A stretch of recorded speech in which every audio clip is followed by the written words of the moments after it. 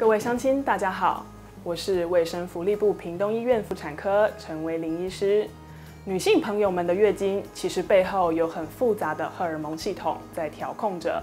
多囊性卵巢的症状大部分都和荷尔蒙失调造成卵巢无法正常排卵有关系。那么，为什么会发生多囊性卵巢症候群呢？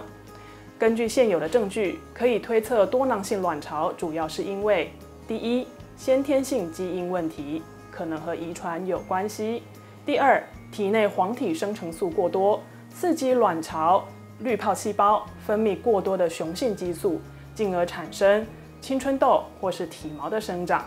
第三，胰岛素阻抗，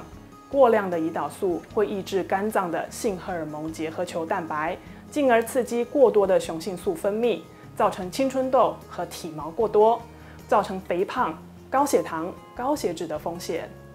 多囊性卵巢有三大主要症状：第一，月经失调，患者一年中可能只有四到九次的月经，或是每次月经的间隔都超过三十五天以上；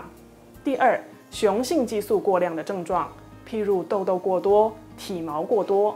第三，卵巢结构异常。在超音波底下可以发现单侧的卵巢超过十颗以上的滤泡。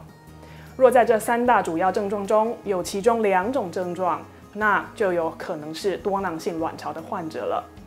多囊性卵巢症候群不是立即要送医处理的急症，但是如果在治疗或是生活习惯上不加以控制的话，不止会引发上述主要症状，还可能会产生以下的并发症。第是第一。肥胖、高血脂、第二型糖尿病、不孕、心情忧郁、焦虑或子宫内膜癌。在这里提醒女性朋友们，若是您有月经失调、青春痘变多、体毛变多的状况等疑似多囊性卵巢症候群的症状，请向您的妇产科医师咨询，寻求适当治疗。卫生福利部屏东医院关心您的健康。